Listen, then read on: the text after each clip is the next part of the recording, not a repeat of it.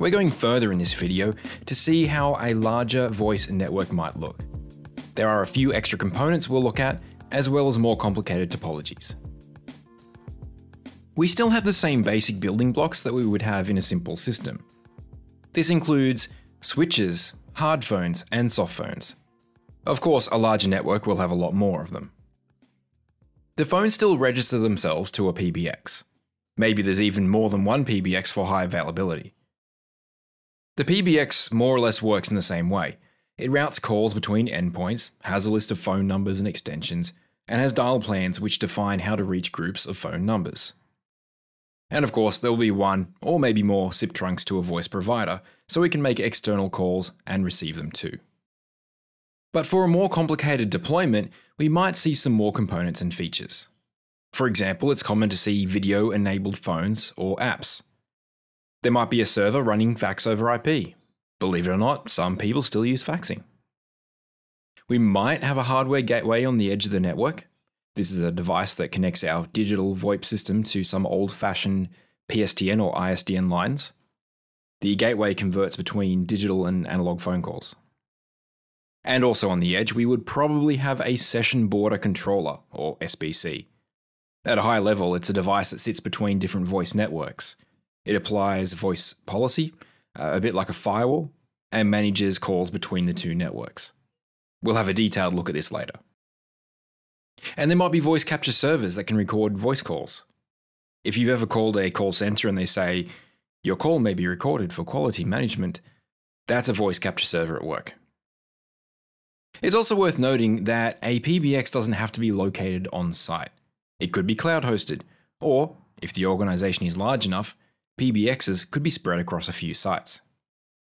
Not to mention that it's likely that the PBX will integrate with third party applications to add more features.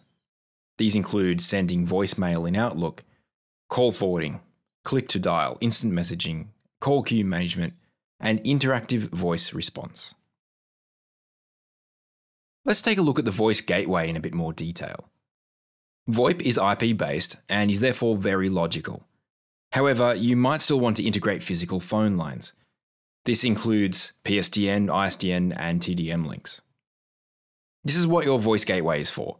It's the hardware that connects your physical lines, if you have any, to your IP based network. Traditionally, larger companies did this to have a backup to their SIP trunks. However, this is becoming less common as services are becoming fully digital. One way this is done is to put special hardware in the session border controller on the edge of your voice network. We'll see SBCs in just a moment. The other way is for your provider to host all this for you and they just pass the phone calls to you over the SIP trunk. When it comes to routing calls between the physical links and the digital phone network, the PBX needs to be involved.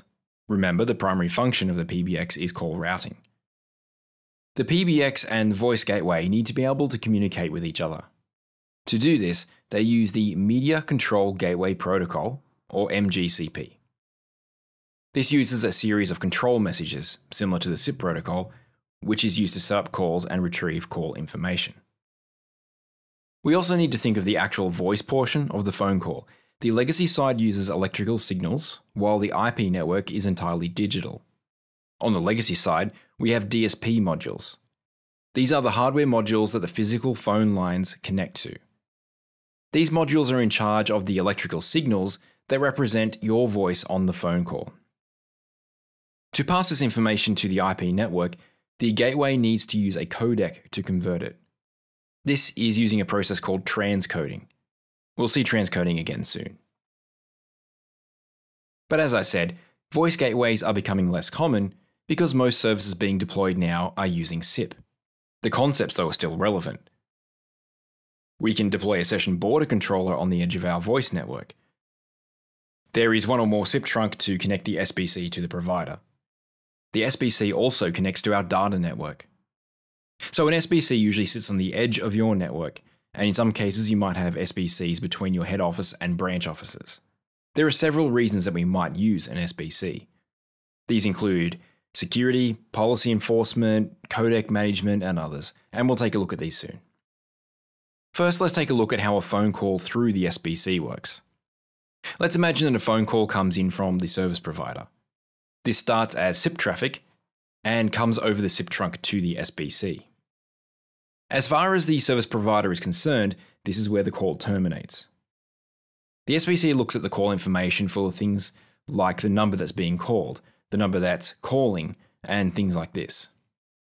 Using this information, it decides where this call should be sent. In a simple example like this one, the best place to send the call would be to the PBX. So the SBC starts an entirely new connection to the PBX using SIP.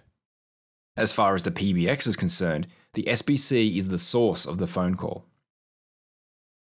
We can see here that the SBC is acting as a proxy for SIP traffic. This means that the service provider will never communicate directly with anything in our network beyond the SBC. The PBX just does what it normally does. It finds the destination phone and tells it to ring. Once again, it uses SIP. When someone picks up the phone, the voice call can begin. Remember that this uses RTP traffic and not SIP. As I mentioned in the last video, the PBX will not usually be involved in this part. It just sets up the phone calls while the RTP traffic flows directly between the phones. The SBC, on the other hand, proxies RTP traffic on behalf of the client, which means that all voice traffic must flow through the SBC.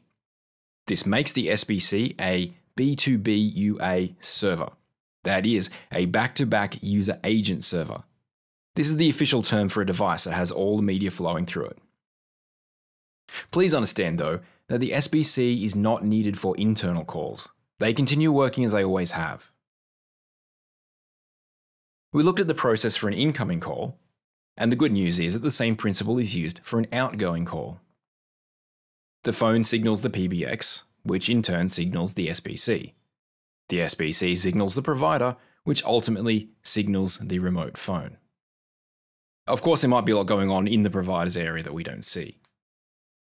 The remote phone is picked up and the voice media starts. This flows from the phone to the SBC, SBC to the provider, where they will likely have their own SBCs, and eventually to the remote phone. Even in this very simple topology, you can see some benefits to using SBC. We've already seen that we have call admission control. This is setting up the phone calls and getting them to the right place. And this also involves security, which we'll soon see. We have a clearly defined border at the edge of the network. We can easily see the line where our network meets the provider's network.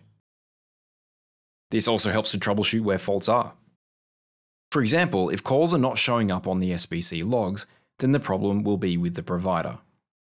But if the call is reaching the SBC and it's still not working, then the problem is within our network. And of course, we hide aspects of our topology from our provider, such as IP addressing and PBX details. They see the calls as terminating on the SBC and see very little, if anything, of our internal network.